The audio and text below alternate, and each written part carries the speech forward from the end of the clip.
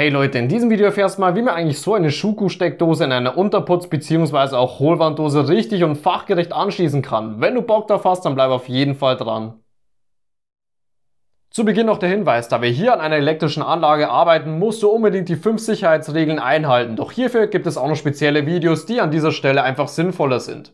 Wenn unsere Anlage vom Stromnetz genommen und die Spannungsfreiheit auch festgestellt worden ist, dann einfach mal einen Mantler zur Hand nehmen und hier in etwa gute 10 cm von unserer Leitung abmanteln. Hierbei sollten wir auf jeden Fall darauf achten, dass hier hinten noch in etwa 1 cm von dieser Leitung übersteht. Ich kann das Ganze natürlich auch noch etwas hin und her schieben, da dann einfach die Zugentlastung auch gewährleistet ist. Als nächstes kürze ich einmal noch den Außenleiter und den Neutralleiter um circa 1 cm. Hat jetzt einfach den Sinn, dass der Schutzleiter hier um 1 cm länger ist und falls wirklich im aller, aller schlimmsten Fall die Steckdose irgendwie einmal herausgerissen werden sollte, dann fällt dieser Schutzleiter als letztes ab und somit haben wir einfach den bestmöglichen Schutz.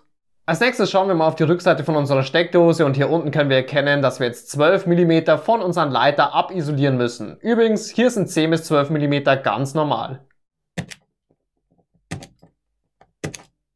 Bei meinem Steckdosenmodell habe ich hier oben noch drei Schraubverbindungen, die ich jetzt einfach mal gegen den Uhrzeigersinn etwas aufdrehen muss und danach kann ich dann auch schon meinen grün-gelben Schutzleiter einmal nehmen, in eins der zwei mittleren Löcher hineingeben. Hier links mache ich persönlich immer den blauen Neutralleiter am liebsten rein und hier rechts dann den meist braunen Außenleiter.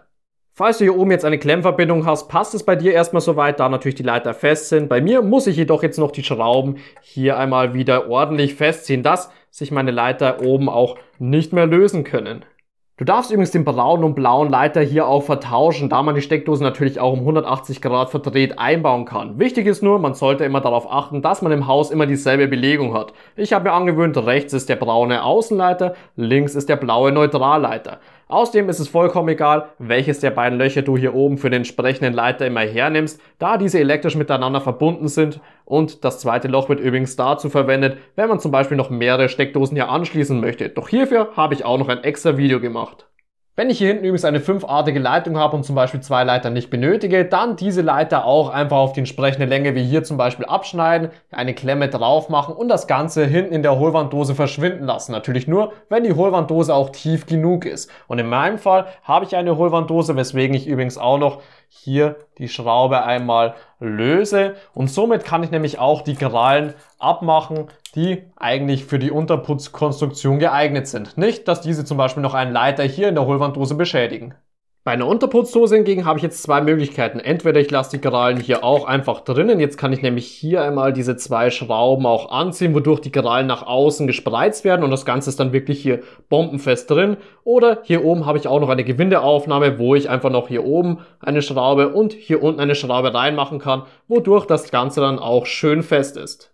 Da ich aber eine Hohlwanddose habe, muss ich einfach mal die Schraube hier oben noch leicht rausdrehen. Dasselbe Spiel mache ich auch bei der unteren Schraube hier und danach kann ich jetzt nämlich auch schon meine Steckdose mit etwas Gefühl hier hinten in der Wand platzieren. Also ich schaue, dass die Kabel natürlich nicht irgendwie geknickt werden.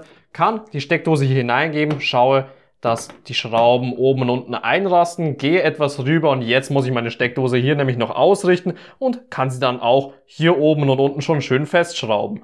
Am besten funktioniert das Ausrichten übrigens mit einer Wasserwaage oder wir verwenden die Linien, die wo ich ja ganz am Anfang für meine Dosen beim Bohren schon schön ins Wasser gezeichnet habe. Und somit haben wir nämlich dann auch schon diese Konstruktion hier fertig. Zum Schluss muss ich meine Blende hier noch aufsetzen, natürlich auch meine Steckdose hier vorne einmal noch drauf machen und dann kann ich nämlich auch hier die Schraube in der Mitte einmal mit einem kleinen Kreuzschraubendreher festdrehen. Danach alles noch auf Funktion überprüfen. Bei mir schaut es auf jeden Fall gut aus und somit haben wir unsere Steckdose auch schon richtig angeschlossen. Falls du jetzt eins der benutzten Werkzeuge hier oder auch eine Steckdose zulegen möchtest, dann befindet sich der Link dazu unter dem Video in der Videobeschreibung. Falls dir das Video gefallen und auch weitergeholfen hat, kannst du mir gerne einen Daumen nach oben geben und es einmal unter dem Video in die Kommentare reinschreiben. Außerdem kannst du meinen Kanal noch hier oben kostenlos abonnieren, um kein neues Video mehr zu verpassen.